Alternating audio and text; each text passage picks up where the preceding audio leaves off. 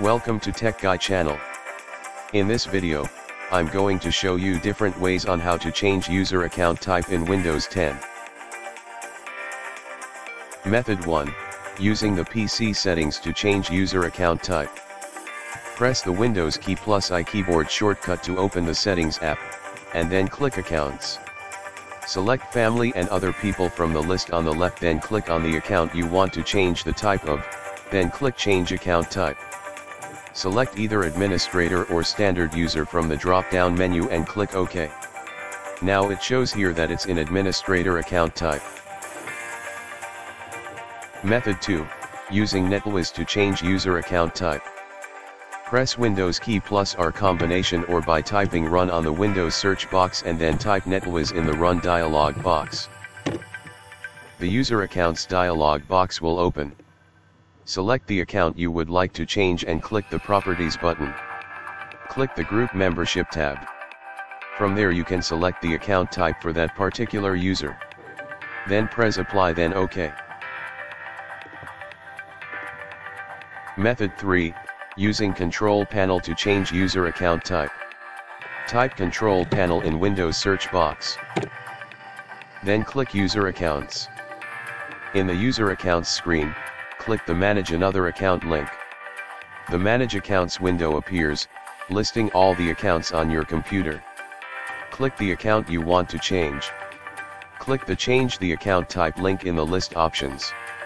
Select Standard or Administrator option as applicable in your case, and click the Change Account Type button. Method 4, using Command Prompt to change user account. Open an elevated command prompt by pressing the Windows key plus X keyboard shortcut or by typing CMD in the Windows search box, then by selecting Run as Administrator. To change an administrator account to standard user, just remove it from the administrators group. Type this command and press enter. Net local group administrators, then user account which is lmemod, then type slash del. Then press enter. Now it confirms that it is successfully completed. To check user account type, just type net user, then the username which you want to view, then press enter. From here it shows that it belongs to standard user. To change a standard user to administrator, you just need to add it to the administrators group. Run the following command at the command prompt by typing net local group administrators, then the user account you want to change to administrator which is lmemot in our case, then slash add, then hit enter.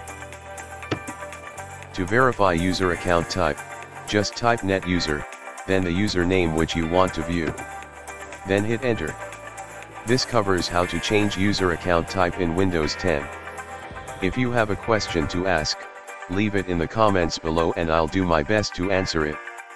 If you found this tutorial is helpful, please give us a thumbs up and don't forget to subscribe on our YouTube channel.